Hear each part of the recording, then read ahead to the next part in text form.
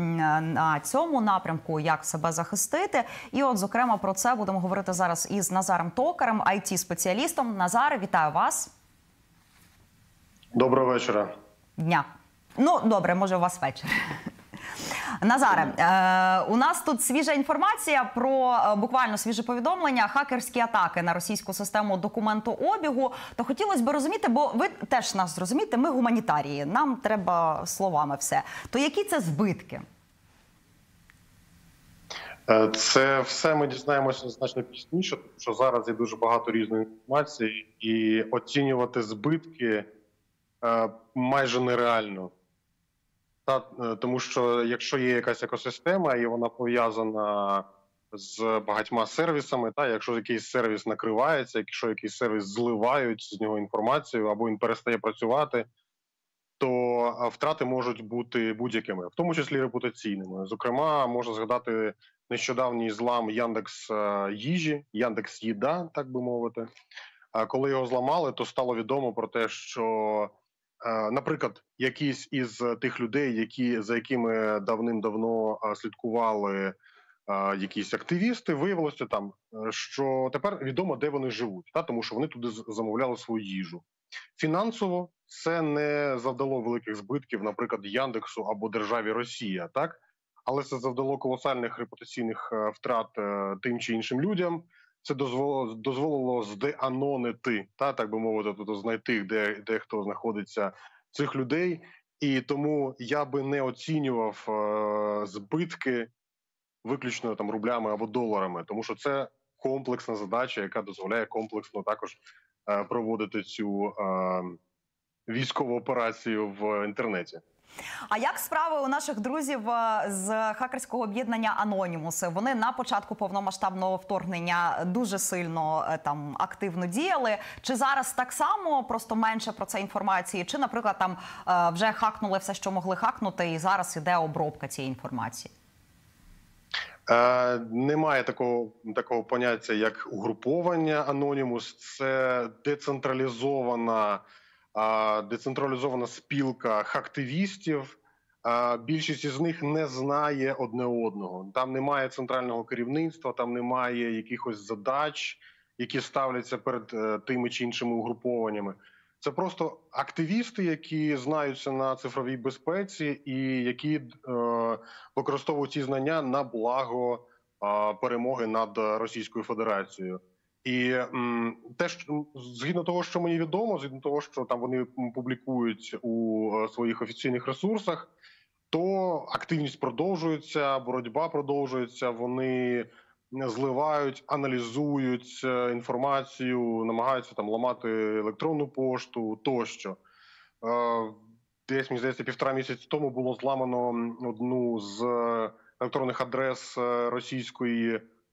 А, Пов'язану з російською думою, вона виявилася на Gmail, при цьому як це не дивно. Та а потім виявилося, що це дійсно офіційна пошта, і там у них було бурління говн через те, що як це так, чому ж це російська е, пошта державна не знаходиться на російському такомусь Mail.ru, а знаходиться на е, проклятому західному там Gmail. Та і е, подібних е, подібних моментів дуже багато відбувається. Е, Активність продовжується, вона не завжди публічна. І про частину зламів або якихось активностей ми дізнаємося або постфактум, або не дізнаємося взагалі, та тому що люди, які проводять цю активність, вони не можуть її публікувати у відкритому вигляді з огляду на можливу небезпеку. А чи правда, що вони там е, те, що стосується оцих от чиновників російських, то вони трошки, ну так би мовити, ще більші гуманітарії, ніж я. І оцей от мем, який Христо Грозів ще запустив там про Москва 26 там, бо коли чуваку ламали пошту, а це якийсь там ФСБшний генерал. Він думав, що це просто щось не працює, і писав пароль Москва 1 Москва 2 Москва, і так і до 20 дійшло. Воно так і є, чи це просто разові якісь історії? Я не знаю, чесно скажу, не бачив цього мема про Москва 1 Москва 2 але не бачу тут нічого нереального. Якщо ми е, Ми разом із е, іншими дослідниками на початку року робили дослідження того, скільки з українських державних установ і інституцій, зокрема, це міські ради, е, зокрема, це міністерства або посольства України, користуються ламаними програмами. Це ми робили з видання- виданнями тексти. То було проаналізовано кілька десят тисяч файлів, із них ну принаймні така доволі доволі велика частина. Не пам'ятаю який відсоток, але доволі велика частина виявилося, що вони використовують ламаний Windows, ламаний е, Microsoft Office. Та і це говорить в першу чергу про те, що люди не, не приділяють ува- е, на достатньої уваги своїй цифровій безпеці. Ну відповідно не мають достатніх знань. Тож, якщо вони використовують ламаний офіс, що їм буде заважати використовувати пароль Москва 1 Москва 2 і тому подібне. Теж може бути. А, росіян відрізали від Ютубу. Це сталося ще на початку повномасштабного вторгнення. Вони перейшли всі оці от блогери, а це ж ціла індустрія, все там, от ця жінка з губами, всі діла. А, от вони перейшли в Рутюб. Рутюб теж довго не прожив. А, і е, що я помітила, що вони росіяни повернулися на Ютуб. Тепер вони цепляють там в своїх описах. Ось моя карточка, пожалуйста, дайте денег, тяжело. Але я так розумію, що з монетизацією там теж не все так однозначно, і вони знаходять шпаринки, як цю монетизацію отримувати через якісь там обхідні картки. Чи це реально так? Тому що е, ну якби все одно все ще українці дивляться, там я не знаю е, з, з різних мотивів, але є оці от російські ютубери, які навіть там в наші тренди залізають. На жаль, навіть на 195-й день повномасштабного вторгнення. Е, Дійсно, на початку повномасштабного вторгнення е, було обмежено монетизацію з Росії, але е, YouTube в Росії нікуди не дівався. Там як донейтили через той Patreon. Patreon доволі лояльно ставиться до Росії. На Патреоні можна знайти дуже багато проросійських і відверто е, терористичних каналів, е, які спокійно пропагують російську і проросійську терористичну точку зору. Та при цьому, наприклад, е, ми всі чудово пам'ятаємо, як 20, е, здається, 5 лютого було забанено Повернись живим. А на Патреоні, де той на той момент було чверть мільйона доларів на місяць.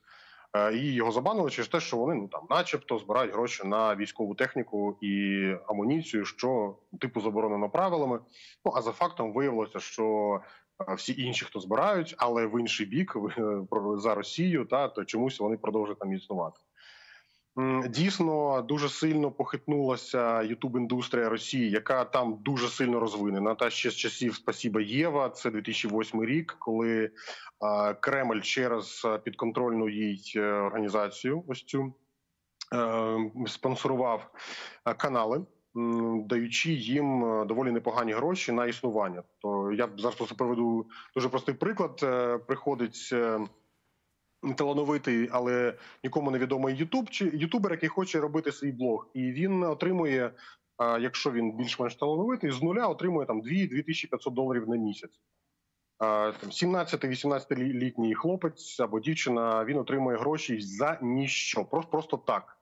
Це була така собі стипендія. Потім стало відомо, що це Кремль, що там Кристина Потупчик, що вони потім їздили на Селігер спілкуватися з е, і Путіним, і Медведєвим, але робили вигляд, що ну ми ж поза політикою, це ж якби ми тут ні до чого. А тому треба розуміти, та що Ютуб на Росії це дуже серйозна індустрія. Ми до цього йдемо потихеньку, але через те, що в українському Ютубі не так багато грошей було і досі є. Ми поки що не можемо похвалитися такими прибутками. Та тому їх е, ось це все дуже сильно підкосило, але так само є Ютуб.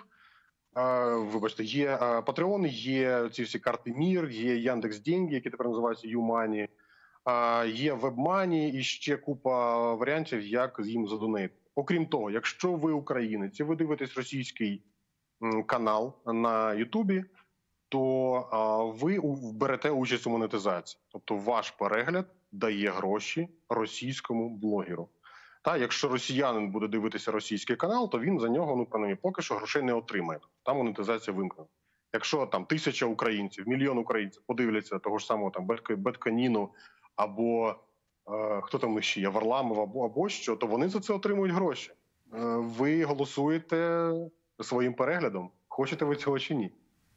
Отак, от, отак, от. Е, ще що хотіла запитати: Ютуб і росіяни там в адмінці чи всіх цих речах. Це речі, з якими ми стикалися безпосередньо на п'ятому каналі, коли там деякі проекти а, на, нам прилітали за них попередження. Просто там, наприклад, за слово москаль в назві. Або там я вже мовчу про коменти, які би ти епітети не обирала там для е, висловлення, навіть не просто там для росіян як окупантів, а просто для свого ставлення. А це одразу ховається. Причому, якщо це буде аналогічний комент від росіянина на тебе, там як на українця, то все нормально, ніякого хейт-спіча, ніяких там насильницьких закликів, нічого такого. Е, Їх там реально стільки багато. Е, Про це у мене інформації немає. Я чув неодноразово такі новини, що там офіс у них є в Москві, і там проросійські працюють. Це я прокоментувати не можу, тому що тут недостатньо в мене інформації. Але бачу по поведінці не тільки Ютуба, а також Твіттера, також і Фейсбука. А же саме Аркадій Бабченко з у нього є там 300 з чимось тисяч підписників, і його періодично блокують за абсолютно нейтральні вислови, які можуть, ну так би мовити, образити окупантів. А, ну це на, на натякає на те, що там все не так чисто. Та? Але що там насправді відбувається, я не знаю. Там інстаграм видалив просто сторінку підтримки родичів Азову. Ну ні за що. Е, Так, я, я таки чув. е, Це звичайно, е, це звичайно жесть, як каже пані Марина. Ну не знаю, можливо, і відновлять. Поки ж поки що невідомо, чим це все закінчиться. А я можна якось Як бачите- обходити оцю от цензуру в соцмережах? Бути обережним. Наприклад, в Твіттері не можна писати номери карток, тому що вони навіть власних карток вони це вважають за розголошення приватної фінансової інформації. От мені зараз вже вдвіч вдруге було забанено Твіттер, де я збираю гроші для, для купівлі всього, що тільки можна для ЗСУ, е, за те, що я, начебто, розголошував фінансові дані. А це була моя е, картка, та куди я збирав гроші. А повний абсурд е, в Фейсбуці, в інстаграмі це можна, в Твіттері не можна. При цьому, наприклад, ось як ви сказали, там згадано вище слово казати не можна, писати не можна, та тому що забанять. При цьому е, з іншого боку боліт чомусь можна. Е, Як, як це обійти? Бути обережнішим, ста- ставити зірочки замість букв, та тому що ну, якби формально це вже інше слово, або використовувати смайлики там, де песик і свинка. Ну, є різні різні методи. Використовуйте синоніми, а, там російська злодерація, мордор, орки, там що завгодно. Тобто люди чудово розуміють, про кого йде мова, і е, це навіть Та буде розуміють, дещо. Назаре, ну ви ж розумієте, що смак то вже не той. Можна е, назвати е, е, свино-собачкою, а можна картинкою. Ніби одне й те саме, але ну трошки емоційний ефект не той. Хотіла ще запитати у вас про закритий російський інтернет. От вони ніби до цього прагнуть, і з одного боку, ну нехай там собі сидять в своєму рутернеті, от там облизують Путіна, Росармію, всі ці речі. Але з іншого боку, вони ж все одно пробиваються в цивілізований світ і приходять і гадять нам. А ми вже не зможемо їм там е, теж е, якісь там е, дрібні пакості в їхньому рунеті, оцьому закритому робити.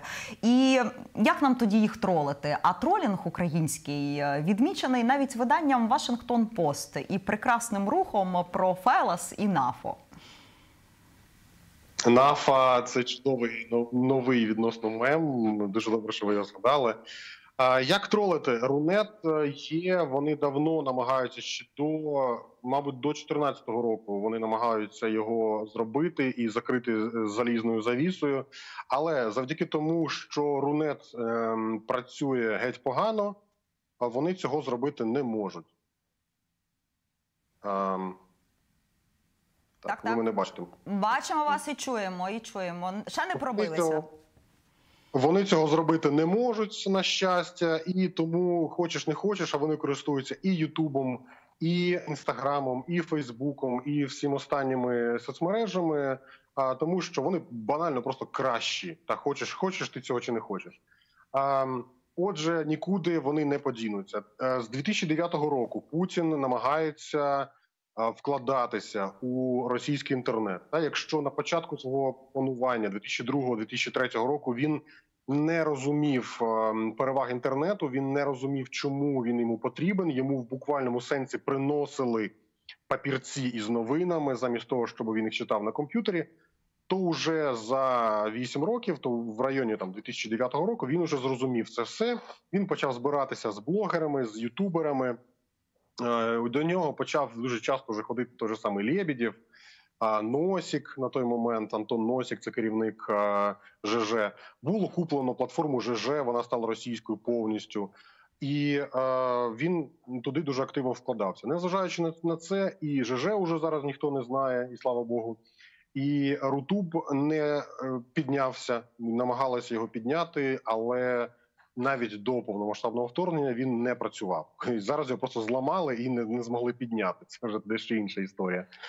А тому не треба е, шукати росіян. Вони самі е, постійно пасуться на всіх наших ресурсах. Я впевнений, що навіть зараз нас з вами дивляться там де, деяка частина цих істот, яким можна передати вітання. Ну, деяких забанили наші модератори. Ну але теж маленька боротьба, теж боротьба. Е, Ще хотіла запитати одвічне запитання всіх гуманітаріїв цієї країни: месенджери і безпека. Чи справді ФСБ читає усі наші вайбери, ватсапи? Якщо читає, то ми ж зразу їм там напишемо корисне для них, щоб вони про себе теж дізналися. Це дійсно вічне питання. Добре, що ви його підняли. Я можу сказати а, те, в чому те, те, в чому точно е, впевнений. Та з 2000, м, з початку цього року а, Тріма. От є такий, є такий месенджер Тріма. Він швейцарський, є повністю повністю захищений. А так, от е, з початку цього року у Швейцарії військовим було заборонено користуватися месенджером Telegram. Натомість держава оплатила а, всім військовим месенджер Тріма. Ну він там коштує якісь копійки. А зараз для українців він взагалі майже безкоштовний. Ну якісь там кілька гривень він коштує. А, WhatsApp, Тріма і Signal, ці три месенджера, а, вони мають наскрізне шифрування. Тобто, як би там ФСБ не намагалося нас читати, вони цього не зможуть зробити, тому що у них немає е, такої можливості. Натомість Telegram, який, е, ну, начебто, і має end-to-end шифрування, тобто шифрування між клієнтами, і на сервері буде тільки зашифрована інформація. То цей чат треба включати окремо. Він працюватиме тільки на телефоні, тобто з телефона на телефон. З комп'ютера він уже не буде зашифрованим. Є різні думки щодо того, чий телеграм. Він зараз, начебто, і опальний Дуров, але частина людей, які працюють в телеграмі, вони досі знаходяться, вони живуть в Росії. А, Навіть навіть зараз можна може самостійно зайти на LinkedIn, подивитися там, що частина програмістів працює в Петербурзі, частина в Москві, там ще десь. А дизайнерка, яка створила одні з основних смайликів для телеграму, вона працює в студії Лєбедєва, вона москвичка. От, ну це, це вже лірика. Отже, для того, щоб а, знати точно, що ваше ваше листування буде зашифрованим, е, варто користуватися повністю шифрованими месенджерами. Це повторюся: Тріма, Signal і а. Я ви знаєте, ем, Назаре, думаю, що може, якщо ФСБ піде читати оці от батьківські чати і чати е, житлових комплексів, то так їм і треба. Вони просто мало молилися в своєму житті. Дякую вам дуже за цю розмову. Справді корисно. Назар Токар, it спеціаліст, був з нами на зв'язку і говорили про цифровий фронт спротиву російській окупації.